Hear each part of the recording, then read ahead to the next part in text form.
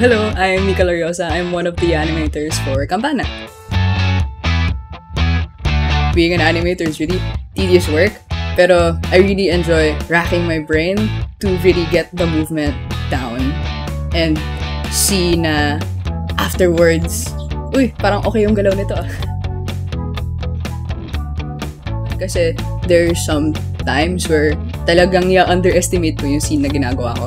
Tipong, I'd have a goal sa sarili ko na in a couple of days, tapos ko na to. Siyempre, maiksi lang naman to eh. Tapos biglang pagdating next week, ginagawa ko pa yung scene na yun. I also struggled with staying true to the original character designs. I really enjoyed yung scene na yung guy nasa harap ng church, sumisigaw lang siya, Fafa Fee, we love you! Tapos pupunitin niya t-shirt niya.